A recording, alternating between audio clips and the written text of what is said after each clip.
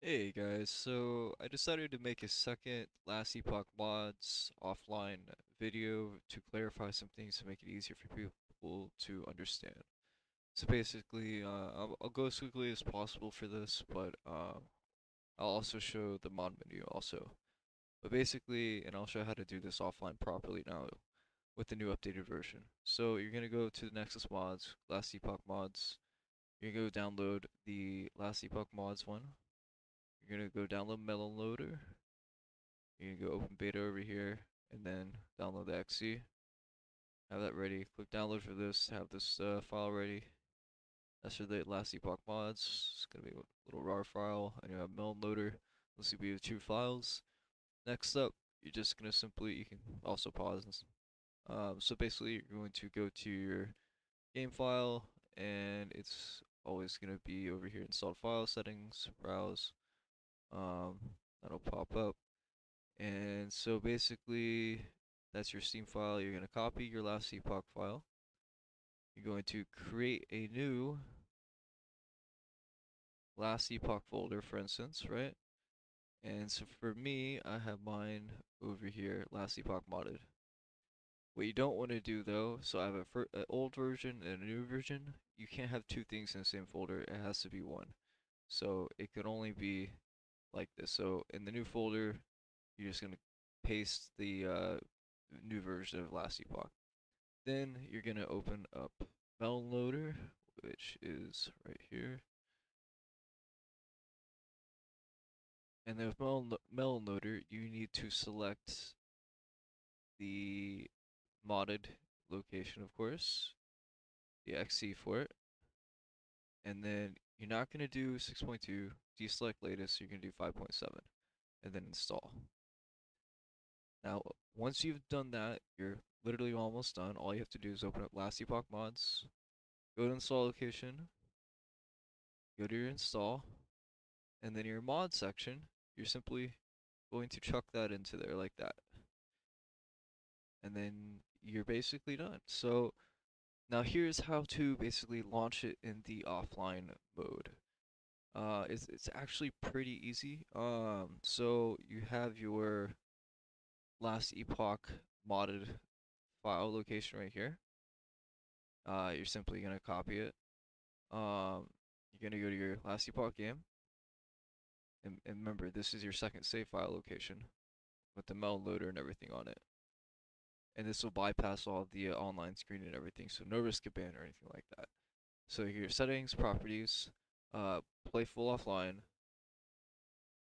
you're going to type in this command, right? And then, so you're going to do dash, and then last epoch xe dot exe, and then we're going to do uh, uh, apostrophe, uh, and another one right there, and space and then command. Now, once you do it like this, um, and yours will be probably different install location than mine. Just make sure you simply copy, paste last epoch XC. Do little things in between and the percentages at between the command. So you're on Playful Offline now you're good to go. You can launch the game. Your game's already updated. So what's going to happen is this menu is going to pop up. That means that your game's good. Um, a lot of people were complaining about the game not working. I mean, uh, I just did it first try um, with the new modded uh, update version. And let me double check my OBS is showing my correct game.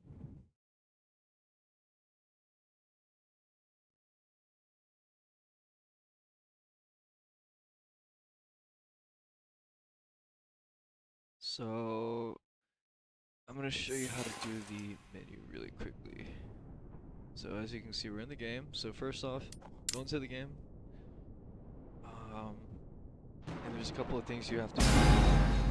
To be force spawned in the character, you know, menu of like, you know, go through the tutorial, all that.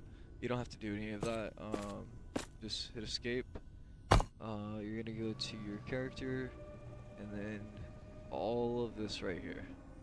Sc- uh, complete main quest, reset masteries. If you need to, add all glyphs and everything, add affixes, discover all the blessings, unlock all idols.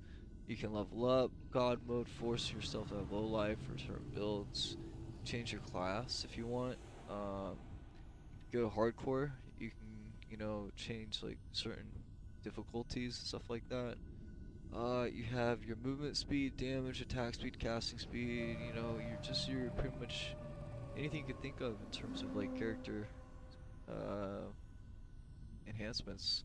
Items, you can change your item drop rates of everything, which is really fun. Um, and auto pickups pretty much everything in the area, so you don't have to actually click anything anymore.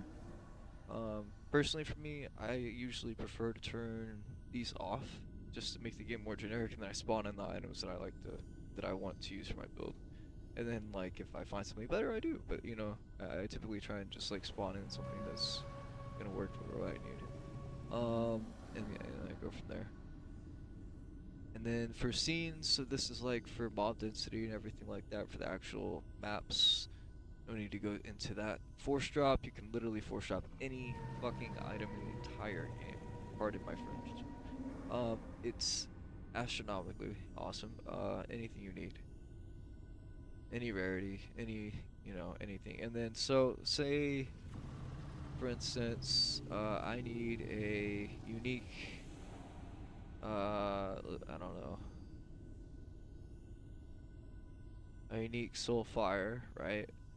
Um, uh, let's see here. No, let's not do unique. Let's do let's do a basic here. Base item, right? Okay, so this is how you would add uh, your implicits and seals. You know your um, things, your items. So you can add a seal to basically enhance it in a way. You know what I mean? Um, and then the here's your prefixes and suffixes. So you can pretty much add anything in the entire game you can think of here. And then just select that again. It was a little laggy, but you can select all four uh, for your your um, item, and then it drops. Uh, and you can do that for any um, item pretty much. Uh, well, not uniques, of course, but like uh. Let's see here.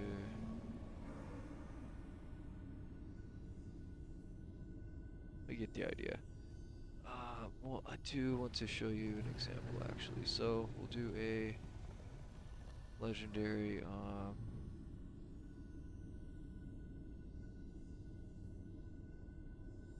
gloves. Legendary. Okay, so say you wanted to spawn something like that. Just choose prefixes, whatever, if you needed this item. Uh, you can literally make anything your heart's desire.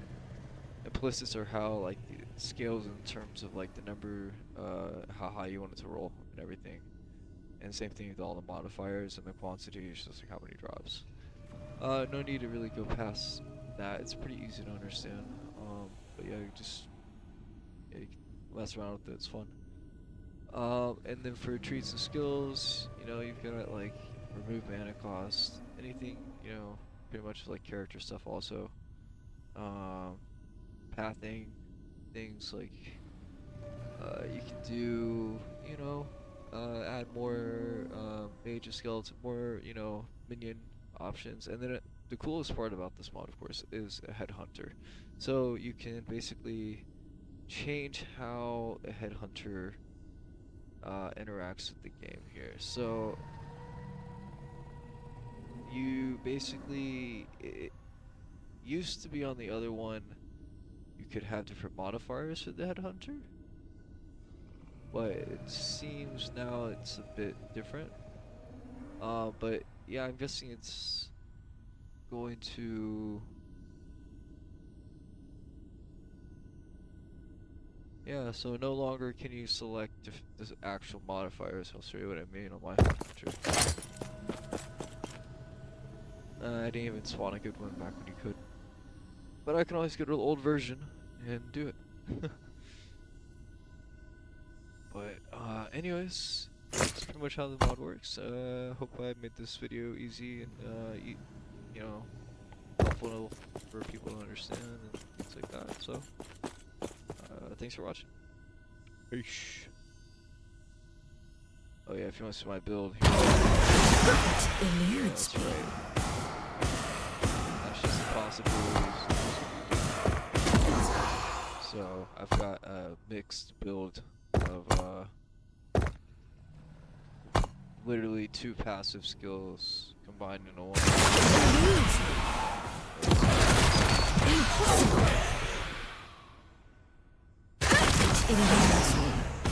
What?